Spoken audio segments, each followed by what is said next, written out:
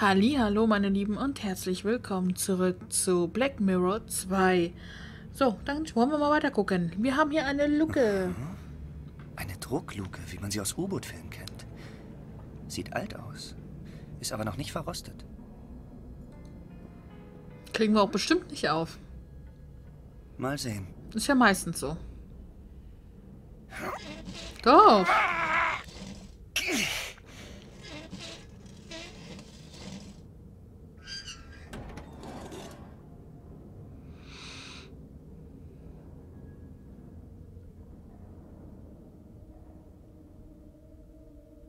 Das Bild bewegt sich so. Warum? Ah, viel ist nicht zu erkennen. Es riecht nach schalem Wasser und Rost. Das könnte hier so eine Art Wasserspeicher oder Tank oder sowas sein. Okay, wir können da runter. Da haben wir einen Kom Kompressor. Der könnte Wasser ablassen. Mit dem Kompressor dürften früher die Druckluftflaschen betankt worden sein. Hat seine besten Tage schon hinter sich. Sieht aber noch nicht schrottreif aus. Mit dem Kompressor. Die Leute, die in diesem Bunker gehaust haben, scheinen die Hälfte hier gelassen zu haben.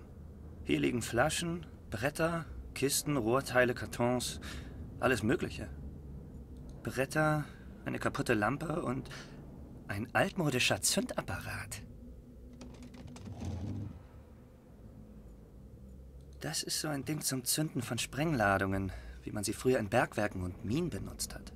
Man dreht an der Kurbel und baut damit elektrische Spannung auf. Per Knopfdruck wird dann eine Zündkapsel am Ende eines Kabels gezündet. Erst einmal müsste ich eine Dynamitstange platzieren. Oh, oh, wie müssten wir da? Okay. So, dann haben wir nichts mehr, außer noch die Kiste hier. Und die Metalltür. Die Kiste sieht schon ziemlich klapprig aus. Nicht mehr lange und sie wird von allein zusammenfallen. Nichts Interessantes zu sehen. Die Tür ist von außen verriegelt. Das ist eine massive Panzertür. Sowas kann ich nicht aufbrechen. Ich muss mir einen anderen Weg suchen. Die Tür ist von außen verriegelt. Ich muss mir einen anderen. Okay, okay, okay, okay. Äh, Luke?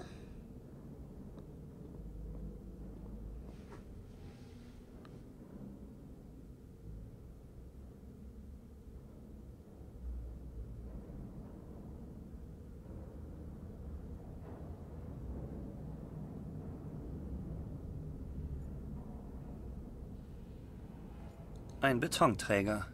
Er befindet sich ziemlich direkt über der Luke. Hoffentlich bricht oben der Boden nicht ein, wenn ich drüber laufe. Aber ich denke, eine Person dürfte er auch ohne Träger locker aushalten. Hoffentlich bricht oben der... Mhm, mhm. Wasser? Was für eine Ekelbrühe. Wer sagt das nicht? Vielleicht ist das ja dein Weg raus. Wer weiß. Diese Teile sind aus dem Betonträger gebrochen. Hier scheint die Wand ausgebessert worden zu sein. Warum auch immer. Da haben wir noch eine Luke. Tja, eine Luke. Sie führt weiter nach unten. Das könnte aber mein Weg in die Freiheit sein.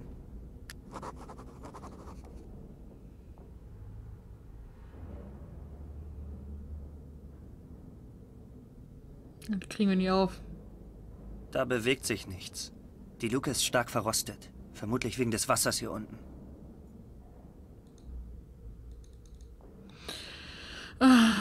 Okay, was haben wir denn?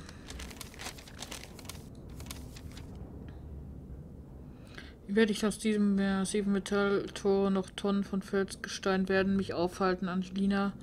Geht es gut? Finde einen Weg hinaus. Das Schloss kann nicht aufgebrochen werden, aber vielleicht kann es auf eine Art und Weise Aufschlagen kann man sich über den Kopf durch die Wand. Mhm, haben wir. Die Schweine Angelina mordet. Abdeckung im Tank, aber die Luke im Tank ist auch aus Metall. Nichts anderes als ein kleines Hindernis. Aber es erscheint mir wahrscheinlicher, dass ich durch diesen Weg hier rauskomme. Hilft nur rohe Gewalt. Manchmal hilft nur rohe Gewalt.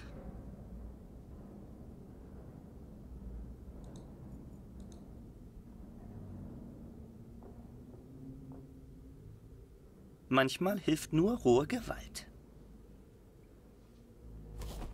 Echt jetzt? Und nun? Ganz vorsichtig. Ach so, nach oben. Sobald Strom auf das Kabel gelegt wird, zündet die Sprengkapsel und lässt die Dynamitstange detonieren. Hoffentlich reicht das, um die Luke aufzusprengen. Okay.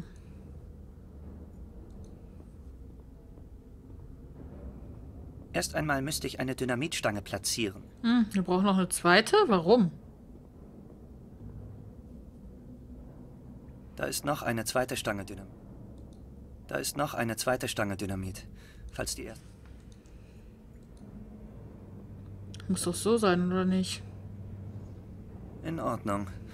Ich drehe die beiden Kabelenden an den Kontakten fest. Und nun? Das Kabel ist mit der Dynamitstange und dem Apparat verbunden. Alles bereit zur Sprengung. Dann drück drauf. Wuhu. Das wollte ich schon immer mal machen. Ach, Daryl. Äh, Darren. Wieso sag ich immer Daryl? Ach, ich bin im Walking Dead Fieber, deswegen. Oh.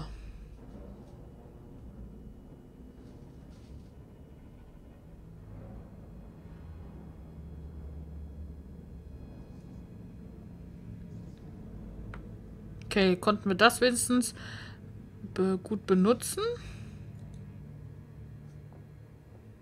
Das hat bestimmt nichts gebracht. Verflucht! Die Luke hat kaum einen Kratzer. Den Griff hat es glatt abgerissen, aber die meiste Energie der Sprengung ist verpufft.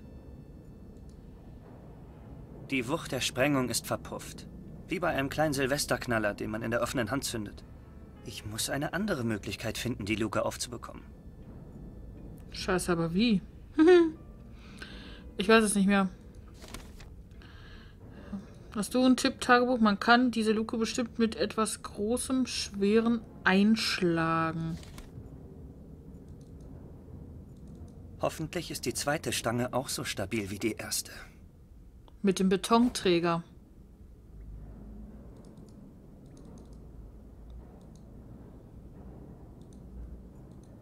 Ich hoffe, dass das funktioniert. Hätte man ja auch beim ersten Mal machen können, ne? aber naja. Man muss das ja erstmal ausprobieren, sonst macht er das ja nicht. Was mit dem Zündkabel? Ich habe keins mehr hier.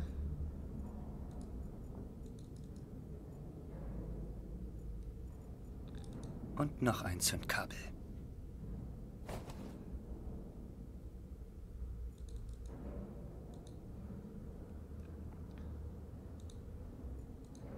Ganz vorsichtig.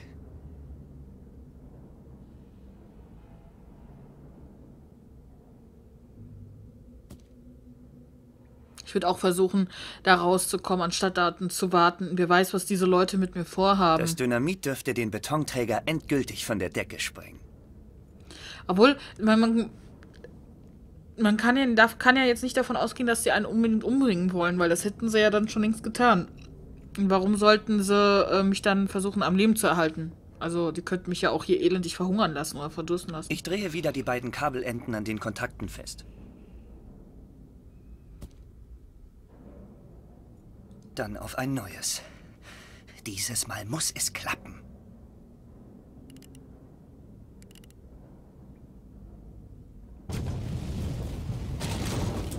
Na, es hat sich auf jeden Fall so angehört. Ich kann ihn nicht bewegen. Er ist zu schwer. Toll. Die Luke hat's tatsächlich durchschlagen. Darunter ist eine Art Röhre. Sie führt nach unten. Sie wäre groß genug für mich, aber ich kann nicht sehen, wohin sie führt. Und ich kann mich nicht an dem Betonstück vorbeidrücken. Dieser verfluchte Balken versperrt mir den Weg. Ich muss einen Weg finden, wie ich ihn anheben kann. Dieser verfluch, dieser verfluchte... Ach.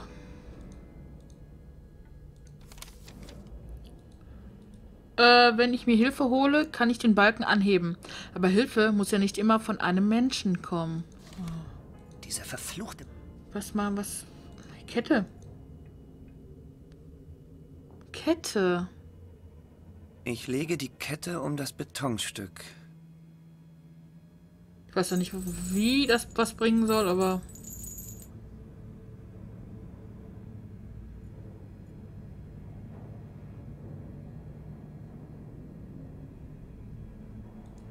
Dieser verfluchte Balken.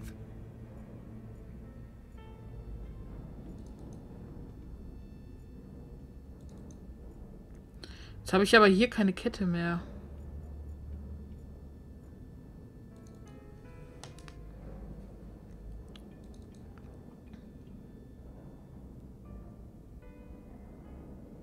Kann ich da, habe ich auch gar nichts. Was sind das überhaupt für Hebel? Die habe ich noch gar nicht ausprobiert. Als der Kerl einen dieser Hebel gezogen hat, ist hinter mir die Metalltür zugefahren. So, mal sehen. Aha. Ich sehe keinen Grund, warum ich die Tür verschließen sollte. Ich lasse sie auf und halte mir damit den Rückweg offen. Okay. Hm. Mit dem Kompressor dürften früher die Druckluftflaschen. Mit dem Kompressor. Ich weiß nicht, was ich jetzt tun soll. Die, ich muss mir einen anderen Weg. Mhm.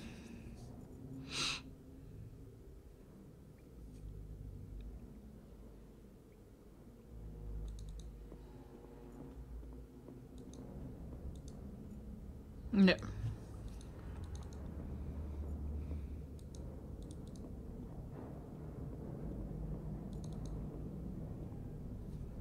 Ach ja, wir sind ja jetzt wieder hier drinne, genau. Ein Feuerwehrschlauch mit Metallanschlüssen auf beiden Seiten.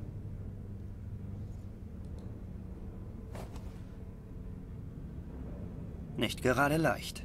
Allein die Metallanschlüsse auf beiden Seiten haben ganz schönes Gewicht. Wie ich es mir gedacht habe. Ich brauche keinen Eimer. Kann ich nichts machen? Schaltkasten? Kann ich da auch wieder was drücken? Die Tür ist offen und mehr kann ich hier nicht machen. Okay. Äh, Auslass. Guck mal, wir haben da einen Aus... Guck mal.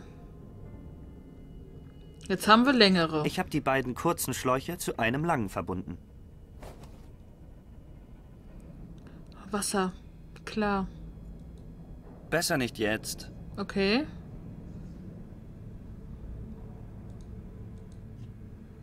Besser nicht jetzt. Besser nicht jetzt. Die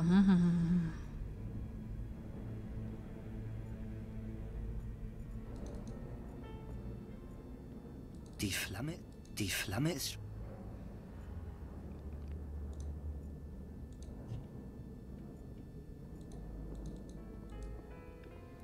Ich weiß nicht, was ich jetzt drücken soll. Ich habe jetzt noch den Kompressor. Magnesiumfackeln.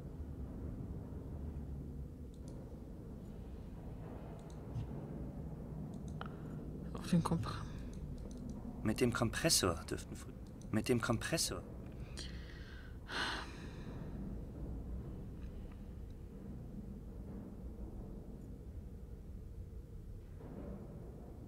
Ich weiß nicht, was ich jetzt tun soll. Das ist jetzt hier so gerade mein Problem. Ach so, nee, wir haben nur noch nicht so einen Lichtschalter. Ist ja wichtig. Man kann jetzt nur noch mal runtergehen. So, ich habe jetzt hier die Kette dran, aber was bringt mir das? Besser nicht jetzt. Ja, besser nicht jetzt.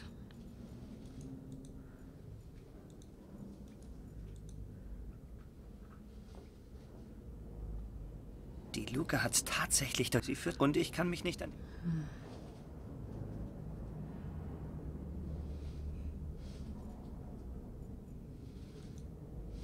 Oh, da ist was. Handschuhe. Hier liegen ein paar Handschuhe und ein Schraubenschlüssel. Ich nehme beides mit.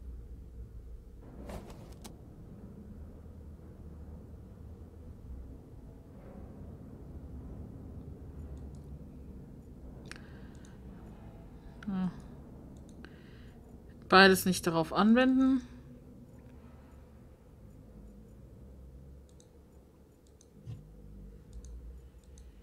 Hier sind nur Muttern, keine Schrauben.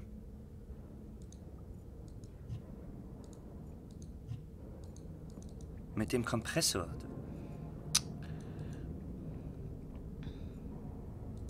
Die Tür ist von... Ich muss mir einen an... Ja, aber...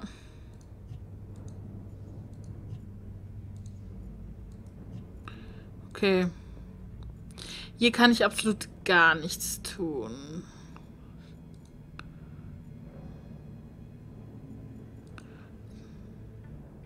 Frage mich, wofür es in einem Bunker ein Gefängnis gibt. Wen wollte man hier einsperren?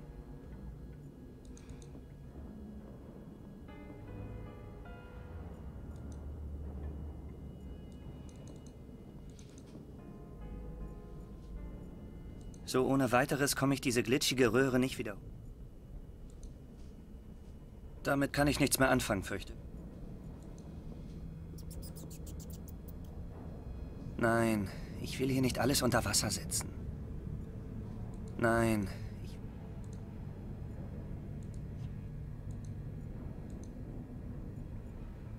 Ich, ich weiß nicht, was ich tun soll. Ich bin gerade ziemlich ratlos. Besser nicht jetzt. Ich kann das machen, aber warum sagt der besser nicht jetzt? Ich verstehe es nicht. Oh.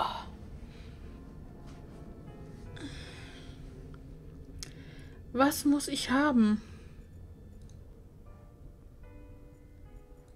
Die Tür ist offen und das Licht ist an. Mehr kann ich hier nicht machen. Die Tür ist... Mehr kann ich hier nicht machen.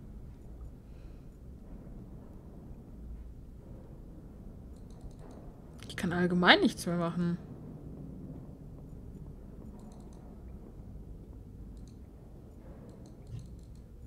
Irgendwas muss ich doch mit dem Wasser machen. Ich weiß das doch. Ach, ich glaub's nicht, ey. Ich sitze total fest. Dieser Verfluch. Das Boot? Was? Das war jetzt durch Zufall. Hier sind Metallösen am Schlauchboot. Ich hake die Kette ein.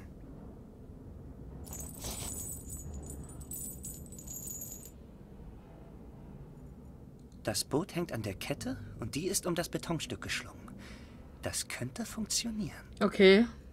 Und aufwärts. Da wäre ich nie drauf gekommen.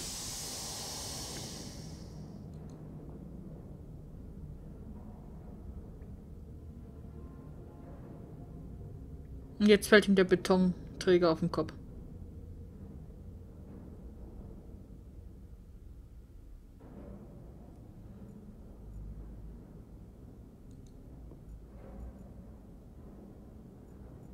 Oh, Luft.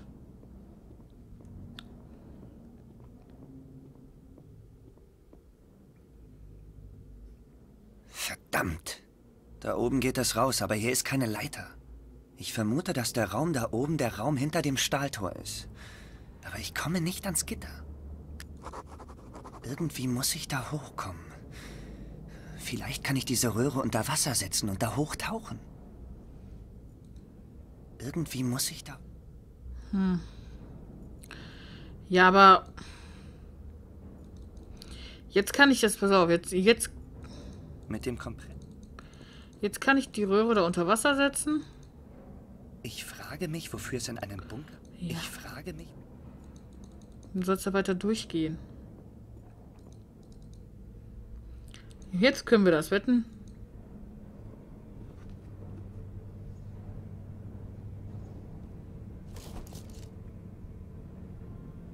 Die Anschlüsse passen.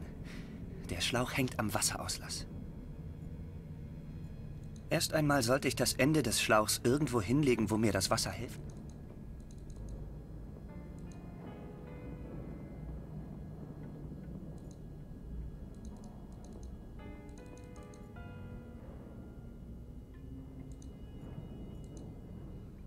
Hierhin.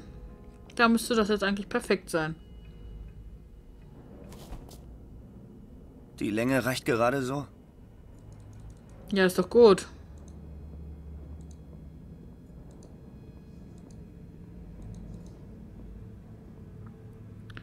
Und jetzt ran an die Arbeit.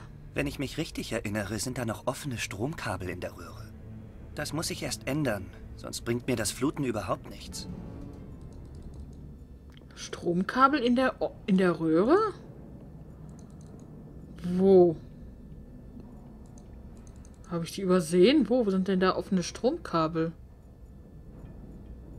Ah, Da. Der Betonträger hat hier ein Stück Wand aufgebrochen und ein paar Kabel gucken raus. Ich glaube, sie stehen unter Strom.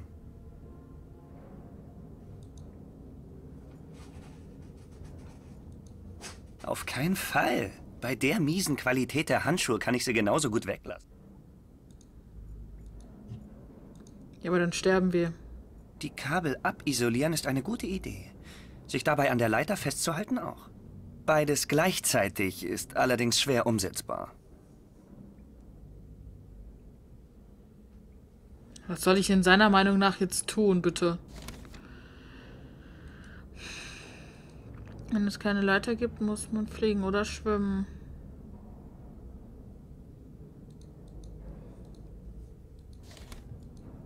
Ich fasse die besser nicht einfach so an.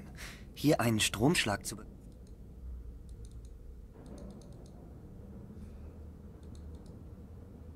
Boah, noch langsamer kann er ja wohl nicht hoch.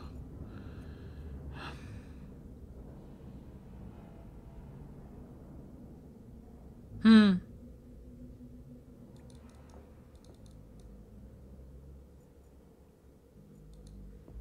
Lichtschalter vielleicht aus? Ich mache erstmal das. Wieso hat das denn jetzt wieder angemacht? Was ist denn das für ein Vogel? Was macht er? Ich habe abgebrochen. Jetzt klettert der da runter.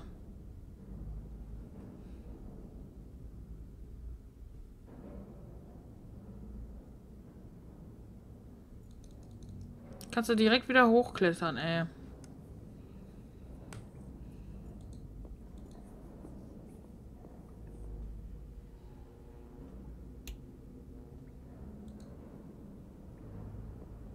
Ich mache erstmal das Licht an. Ach, okay, er will, er will nicht darunter.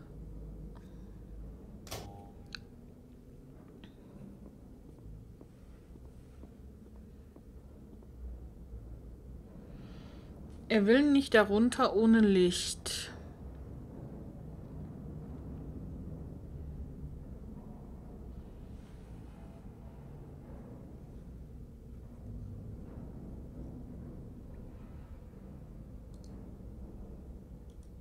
Magnesiumfackeln.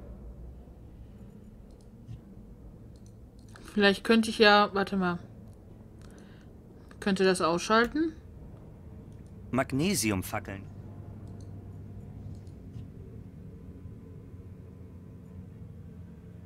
Ich mache erstmal das. Ich weiß nicht, wie ich da, wie ich das machen soll. Ja. Ich fasse die besser nicht ein. Hm.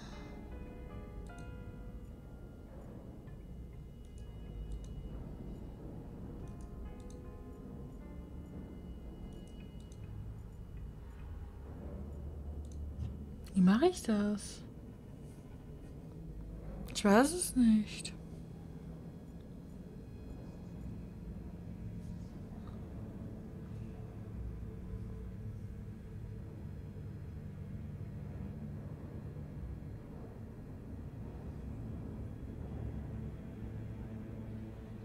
Hm.